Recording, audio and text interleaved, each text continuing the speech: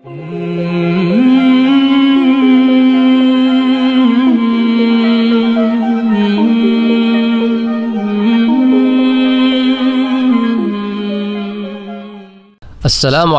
वरहमतुल्लाहि वबरकातुहू। जैसा कि आप जानते हैं कि हम सूरह बकरा की आया नंबर 38 की तफसीर कर रहे हैं, जिसमें अल्लाह अज़्ज़ वजल इरशाद फरमाता है कि कुल्नहबितू मिन्हा जमीआ, फ़इम्मा यअतियन्नकुम मिन्नी हुदन, फमन तबिअ हुदाय खौफुन अलैहिम वला हुम और हमने कहा, तुम सब के सब यहाँ से उतर जाओ। तो जब भी आए तुम्हारे पास मेरी जानब से कोई हिदायत तो जो लोग मेरी इस हिदायत की पैरवी करेंगे, इनके लिए ना कोई खौफ होगा और ना वो किसी गम से दो चार होंगे। अब आइए इस आया मुबारक के ज़िमन में मैंने जैसे आपसे पहले अर्ज़ किया था कि आदम सलाम की असमत पर, आदम सलाम की जिसे कहते हैं ना कि अम्बिया मासूम होते हैं, मासूमियत पर। चंद एतराज़ात के मैं जवाब आपको देना चाहता हूँ। एक फ़िरका है, फ़िरका हशविया। उसने हज़रत आदम आसमाम के क़स्से से इस्तलाल किया है कि अम्बिया कराम मासूम नहीं होते और उनके दलाइल हैं। तो उनके जवाब मैं आपको देता हूँ। हज़रत आदम सलाम को जिस दरख्त से मना किया गया था कि इसके करीब ना जाना तो उन्होंने इस दरख्त से खाया।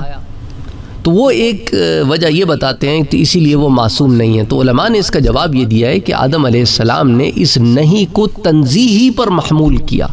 या वो खाते वक्त इस नहीं को भूल गए। तो ये उलमा का जवाब है, इस पर उसकी वजह क्या है कि अम्बिया मासूम है, इस बात को मैं पहले साबित कर चुका हूँ। तो तमाम जवाब जो हैं, वो इसी के अंडर आएँगे, इसी टॉपिक के अंडर। अच्छा इसी तरह वो कहते हैं कि देखो, आदम सलाम ने ख़ुद कहा कि हमने जुल्म किया और हम नुकसान उठाने वालों में से हैं। तो फिर मासूम कैसे हुए? तो उसका जवाब फिर उलमा ये देते हैं कि उन्होंने ये तोज़ान और इनकसारन कहा है। फिर वो कहते हैं कि देखो, अल्लाह ने फरमाया कि आदम ने मासीत की और वो बेराह हुए। तो इसका जवाब उलमा ये देते हैं कि ये ज़ाहरी और सूरती मासीत है। हकीकत में मासीत नहीं है, क्योंकि आदम सलाम भूल गए थे, जैसे कुरान करीम ख़ुद फरमाता है, अल्लाह ताला ख़ुद फरमाता है कि आदम भूल गया।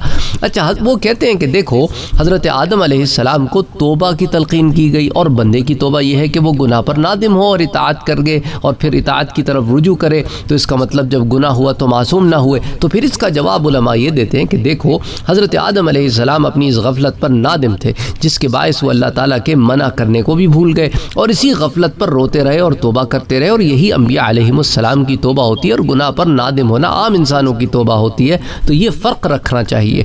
अच्छा फिर वो कहते हैं कि देखो, आदम ने गुनाह नहीं किया था तो इस दरख्त से खाते ही उनका लिबास क्यों उतर गया और उन्हें एक दूसरे का दुश्मन बनाकर ज़मीन पर क्यों भेजा गया तो सज़ा हुई। इसका जवाब फिर उलमा ये देते हैं कि आदम सलाम की गफलत पर अल्लाह ताला की तरफ़ से ख़ास इंतज़ाम था और ये गफलत गुनाह नहीं थी और इताब सज़ा नहीं था। और फिर इसका एक जवाब वो ये देते हैं कि ये सबब पर मुसब का तरतुब होता है। यानी कि अल्लाह ने इस दरख्त से खाने को लिबास के उतरने और ज़मीन पर जाने का सबब बनाया। जैसे कोई भूले से कोई चीज़ खा ले और उसको कोई हादसा पेश आ जाए कि भाई वो चीज़ खाना मुजिर थी।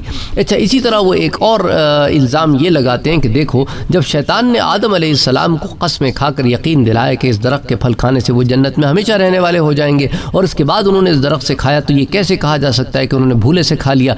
तो इसका जवाब उलमा ये देते हैं कि देखो, शैतान के इस वसवसे के फ़ौर बाद उन्होंने फल नहीं खाया। अगर आपको ये मुगालता लगा है और आपने ख़ुद अपने जहन में एक टाइम फ्रेम बना लिया है तो ये आपके जहन का फतूर है कि उन्होंने वस, के शैतान ने वसवसा डाला, उन्होंने फ़ौर फल नहीं खाया। लेकिन उसके कहने से उनकी तबीयत उस फल की तरफ़ मिलान पैदा हो गया। इसके बावजूद वो अपने आप को इस फल खाने से रोकते रहे, ताकि अल्लाह की मासीत ना हो। फिर एक बार वो इस हुक्म को भूल गए और गलबा मिलान की वजह से उसको खा लिया या उन्होंने अपने इजतहाद से इस नहीं को तनजीही पर महमूल किया या इस नहीं को इस मुन दरख्त से मुतल समझा और इस नौ के किसी और दरख्त से खा लिया। तो बहरहाल इसके अंदर फिर ने जवाब दिए। होता क्या है कि जब जवाब दिया जाता है ना तो जवाब उसूल पर दिया जाता है। जब ये उसूल स्टैब्लिश कर लिया गया है कि अम्बिया कराम मासूम होते हैं तो फिर जवाब भी उसी के तकाजे के मुताबिक होंगे।